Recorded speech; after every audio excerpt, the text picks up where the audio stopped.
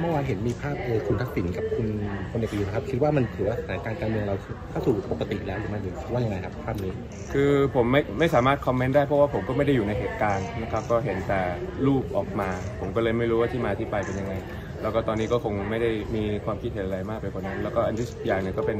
งานศพของของคุณแม่ของนายกรัฐมนตรีด้วยนะครับตอนนี้ก็เลยโฟกัสแต่ในเรื่องเกี่ยวกับงานกับที่กำลังจะไป